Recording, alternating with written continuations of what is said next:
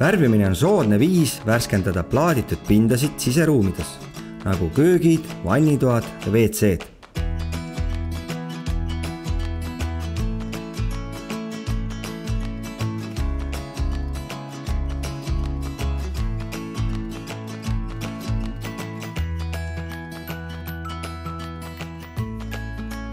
plaaditud pind on värvi korraliku nakkumise seisukohast raske pind.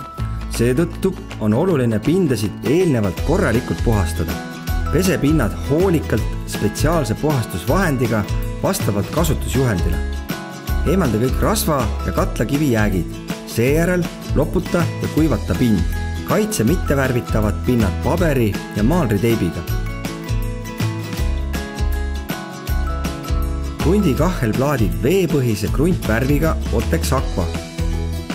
Kruntvärvi ülesanne on tagada pinna korralik nake. kanna kruntvärv pinnale madalakarvalise rulliga või vajadusel pintsliga.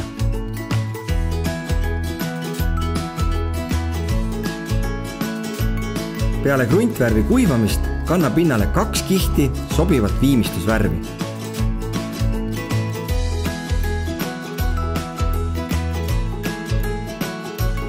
eemalda maalriteip kohe peale värvimist.